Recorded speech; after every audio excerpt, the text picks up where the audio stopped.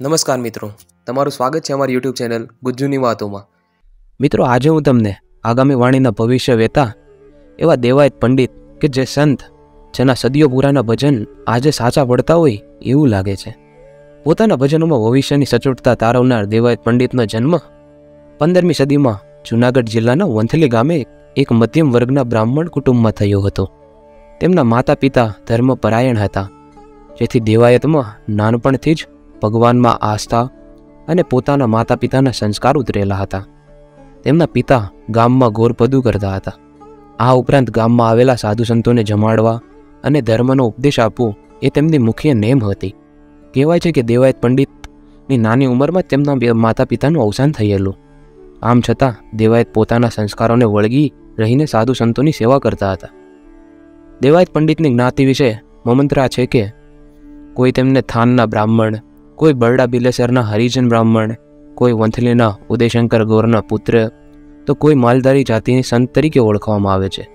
આથી દેવાયત પંડિતની જાતિ વિશે કોઈ ચોક્કસ કહી શકાતું નથી. એટલે ડૉક્ટર દલપત શ્રીમાળીએ આ અંગે વધુ સંશોધનો કરીને દેવાયત પંડિતની જાતિ વિશે એક ચોક્કસ નિષ્કર્ષ કાઢ્યો છે કે, એ પ્રમાણે દેવાયત પંડિતનો જન્મ મેઘવાળ સમાજમાં થયેલો દેવાયત પંડિત મહાપંથ માર્ગી પંથ સાથે સંકળાયેલા હતા. સાચા સંતનો સંગ. બન્યું એવું, એકવાર દેવાયત પંડિત સાધુ સંતોને સંઘ સાથે તરણે તરણના મેળામાં જોડાય છે. મેળામાં ઘણા બધા સાધુ સંતો અલગ અલગ જગ્યાએથી આવ્યા હતા અને ધર્મની ચર્ચામાં વ્યસ્ત હતા. તેવામાં એક મહાત્માના પ્રભાવી નીચે દેવાયત આવતા તેના માનસ ઉપર વિશેષ છાપ પડી હતી.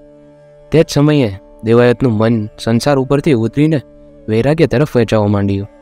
આમ તે તરણેતરના મેળામાંથી પાછા ફરતા વંથલીની બદલે ગિરનાર આવી ગયા. ગિરનારની અડાબીડ ઝાડીના માર્ગોમાં ફરવા લાગ્યા અને સાધુઓની જગ્યામાં સેવા કરવા લાગ્યા. તેમને ગિરનારની પાવન ભૂમિમાં ઘણા દિવસો ગાળ્યા પરંતુ પોતાની મૂંઝવણનું સમાધાન ન થયું. કે પોતાના પ્રશ્નોનું નિકારણ ન થતું હતું. તેવામાં એક દિવસ શોભાજી કરીને એક સંતનો મેળાપ થયો. તેમણે દેવાયતના મનની ભ્રમણા ભાંગી. દેવાયતને શોભાજીના સાનિધ્યમાં ખૂબ જ રસ પડવા લાગ્યો હતો. પોતાના દરેક પ્રશ્નનું નિકારણ વ્યવસ્થિત ઉદાહરણ દ્વારા સમાધાન કરીને પોતાના અંતરમાં સ્થાન મળવા લાગ્યું હોય, તેવો તેને અનુભવ થવા લાગ્યો હતો. આથી એક દિવસ દેવાયતે શોભાજીને પોતાના શિષ્ય તરીકે સ્વીકારવા અને પોતાને કંઠી બાંધવા કહ્યું. શોભાજીએ દેવાયતને અંતરથી જાણી લીધા હતા અને પરીક્ષા પણ કરીને ચકાસી લીધા હતા. તેથી શોભાજીએ દેવાયતને કંઠી બાંધીને ઉપદેશ આપતા કહ્યું કે, તમો સાધુ બનો, તેના કરતાં સંસારમાં રહેશો તો ધર્મથી વિમુખ તથા જતાં સંસારને ભક્તિથી પ્રેરણા કરી આપશો. તે વધારે અસરકારક રહેશે. તેથી શોભાજીએ દેવાયતને ગ્રહસ્થ જીવન ન છોડવા અને સંસારમાં ધર્મો બજાવતા બજાવતા આધ્યાત્મિક માર્ગે આગળ વધવાનો આદેશ આપ્યો. આથી પોતાના ગુરુનો ઉપદેશ સ્વીકારી દેવાયત કાશી ગયા હતા. બાદમાં ગુરુના કહેવાથી દેવાયત પંડિતે દેવળદે સાથે લગ્ન કરી ગૃહ સંસાર માંડે છે.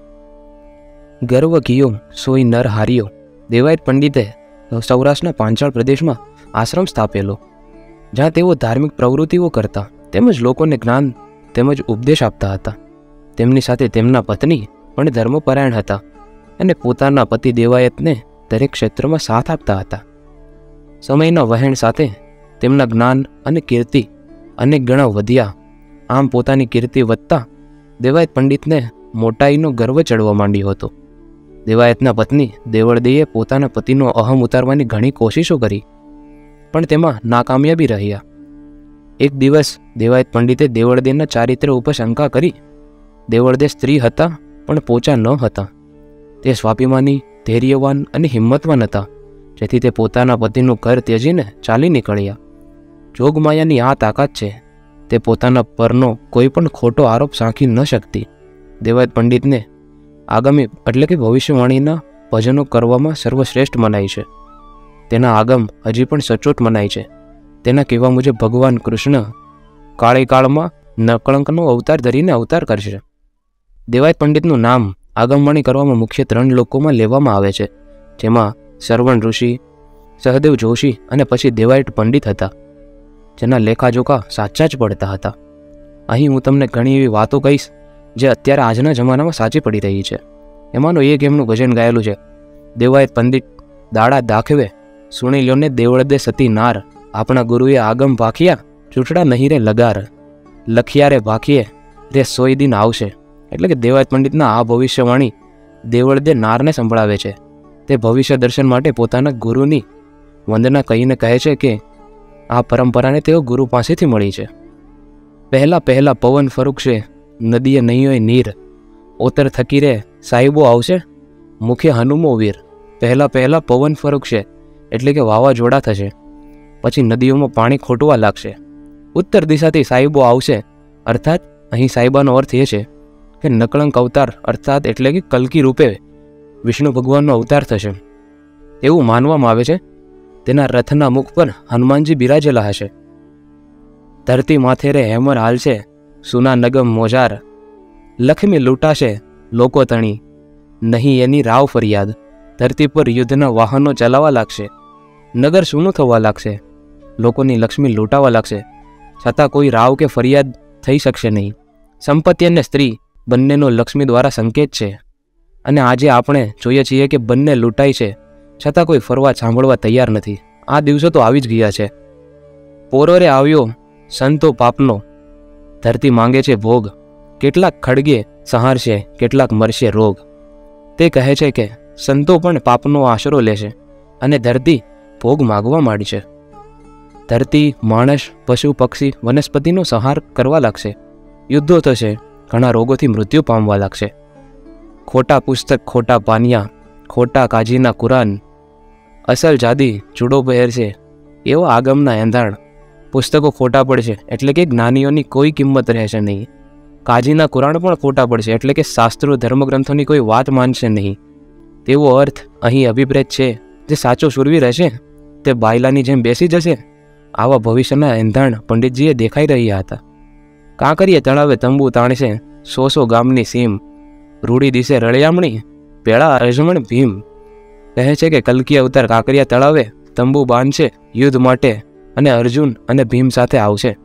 આવા દિવસો આવશે કે કલકી અવતાર સીધા કાંકરિયા પાસે જ પોતાના યુદ્ધનું એલાન કરી શકે છે. જતી સતી અને સાબરમતી, ત્યાં હોશે શુરાના સંગ્રામ. કાયમ કાળિંગાને મારશે નકળંક ધરશે નામ. સતીઓને પોતાના યોગ અને સતીત્વ મૂકશે અને સાબરમતીને કિનારે થશે સુરાઓના સંગ્રામ. જે કાળા કામ કરનાર છે, તેવા કાળિંગાઓને દુષ્ટોને મારશે અને તેનું નામ હશે નકળંક.